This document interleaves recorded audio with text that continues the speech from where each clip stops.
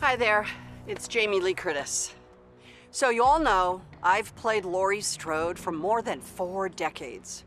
And over that time, she has been relentlessly stalked by Michael Myers. Well, all that comes to an end this Halloween, and I'm very proud of our final film, Halloween Ends, and how it brings this saga to a fitting conclusion, and I cannot wait for people to have the chance to see it. Now, last year when we put out Halloween Kills, we were in the thick of the COVID crisis, so we made that movie available in theaters and in homes at the same time.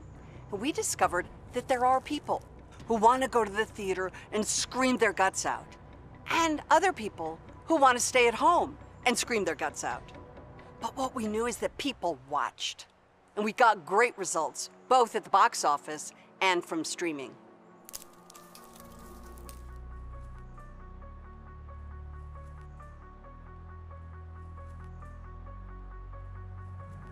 Anyway, this year we want to make sure that as many people as possible can see Halloween Ends before Halloween. So we decided to give that same gift to the fans again.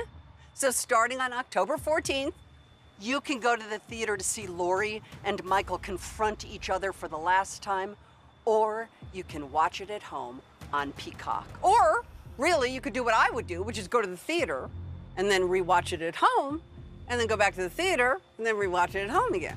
I mean, no spoilers, but I have a feeling that's what you may want to do.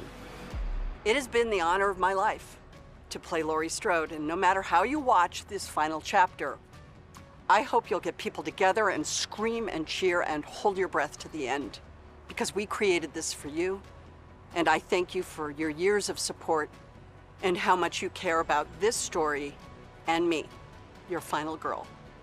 So, I'll see you soon. Stay safe. And happy Halloween, everyone.